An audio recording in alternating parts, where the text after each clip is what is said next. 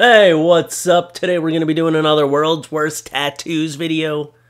Now, full disclosure, I've been having some serious creator burnout recently. It's something that I struggle with on and off all the time. If you don't know, basically, creator burnout is when you've been doing things like YouTube for so long and you just don't want to create anymore. It's not that I don't want to, it's just I, I lack motivation it comes and goes. Sometimes I just I don't want to work. I just want to do other things. I don't know. I feel I always feel like it's stupid for me to complain about what my job is. I have an amazing job. It's I make videos on YouTube. I have you great fans that I just try to make laugh. And I'm lucky enough to make a living out of that, but sometimes you just get that feeling like I just don't want to create. So I'm trying to push past that. I'm trying to get back into the swing of things. So basically what I'm trying to say is some of these videos might be a little bit shorter in the next few videos coming out because I'm trying not to pressure myself too hard to make super long videos or whatever. So I'm just trying to get some content out, get over that hump of like creator burnout and just get back into the the motivated Fluffee that I know I can be. So that's just my quick little spiel, you know, just in case you're like, why are these videos only five to six minutes now instead of eight to nine? Well, it's just easier for me to get back into it if I don't have to edit as much and I don't have as many pictures. But I don't know. Maybe it's just me being lazy. Anyway, I probably didn't even have to do this whole part in the intro it probably would have been fine, but I just, you know, full transparency. haven't been feeling it lately, which is why I haven't been uploading as much. But I'm gonna get over it. I'm gonna get my passion back. It always comes back, don't worry. Anyway, this is World's Worst Tattoos number 150 something. Let's do it. Hey, what's up? First, we'll start with this Hannah Montana tattoo, okay? Are those Hannah Montana band-aids or Hannah Montana cigarettes? I didn't know there was Hannah Montana branded cigarettes. That's cool. Marketing smoking to the teenagers to watch Hannah Montana. It's not cool, actually. Yeah, it looks like a cigarette pack on your arm. You are one hardcore Hannah Montana fan. Damn. Here's a Mike Dyson tattoo. Yeah, not Mike Tyson. It's a Mike Dyson. You see? Because there's a vacuum coming out of the top of his head. I like the concept. Even the execution isn't horrible.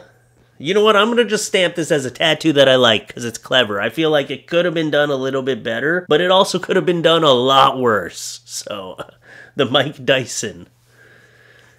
Shit. Mike Tyson with a vacuum nozzle coming out of his head. I never thought I'd see that, but you know, it makes a lot of sense now. Here's a really bad Bart tattoo. I don't Maybe I've used this one before, I don't know. It's looks like a backwards Homer face surrounded by Bart's head and it says eat pant.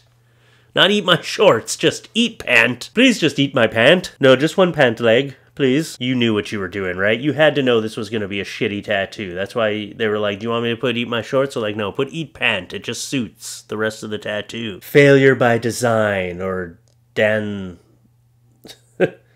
or Dansani, depending on the angle. Yes, alcohol was involved. Failure by Dansani. Is that like a new cologne? Failure by Dansani. Failure by Dansani. Do you want to smell like failure? Then spray Failure by Dansani on you. I could have sold cologne for a living. That's pretty cool. Test.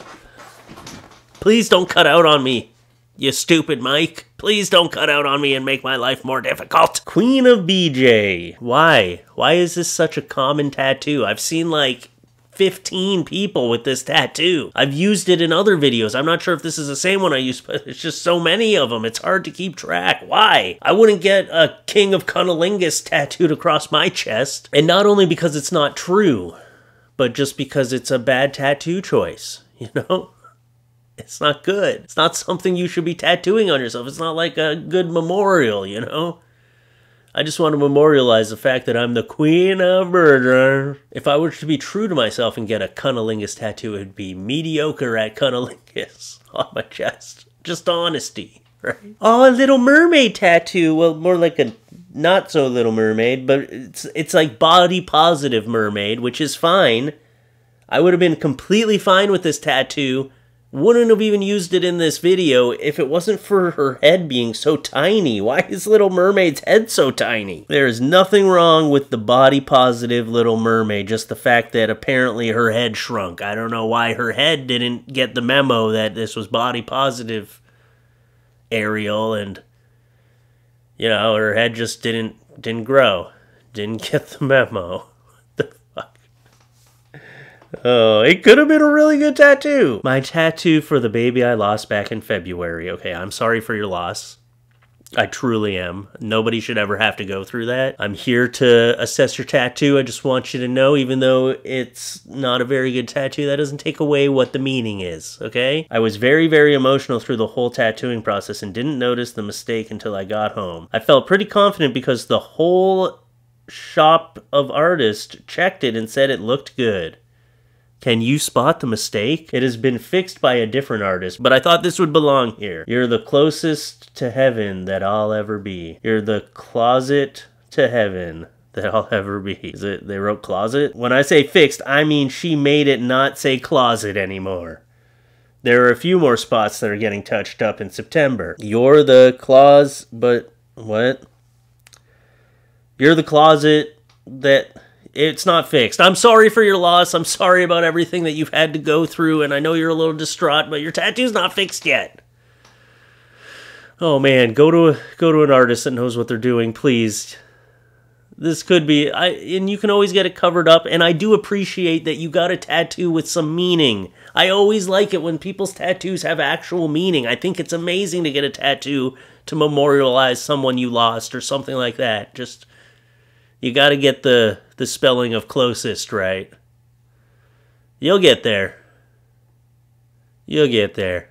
That's not fixed yet, though. I'm sorry to inform you. Here's a weird, uh, this one I found and it was as a Jesus Batman tattoo. So someone got Jesus wearing a Batman mask, but I don't think that's a Jesus Batman tattoo. It looks more like a Blunt Man tattoo from, uh, from Jay and Silent Bob Strike Back. That looks like a Kevin Smith tattoo to me. I'm not sure why it has the whole, like, the, the thing on the head, the whatever it's called, which makes it very Jesus-ish. But maybe this person just thinks that Kevin Smith is Jesus. I don't know. Anyway, yeah, that's just a blunt man tattoo. And here's someone getting a face tattoo in some very unsanitary conditions. Holy shit. Okay, when you get tattoos on your face, you don't want the conditions to be this unsanitary. You want it to be sanitary when someone is putting a needle in your face. At the very least, this tattoo artist could have worn gloves. You know what? Scratch that. At the very least, this tattoo artist could have cut his nails. These disgusting long dirt nails and you didn't even put gloves on and you're letting them tattoo your face. What are you doing with your life? Don't let people tattoo your face in unsanitary conditions. I shouldn't have to say this, but if there's a lesson to be learned from this video, it's that you shouldn't let someone with dirty long nails stick a needle in your face. Anyway, that's the video. I hope you liked it. Check out my Patreon, patreon.com slash FLuffeetalks, and I will be having a lot more content coming soon because I got to get my ass back into working shape. Enough of this slacking, okay? No more slacking. I'm talking to you, Fluffee, you slacker. See you in the next one. Bye. Bye.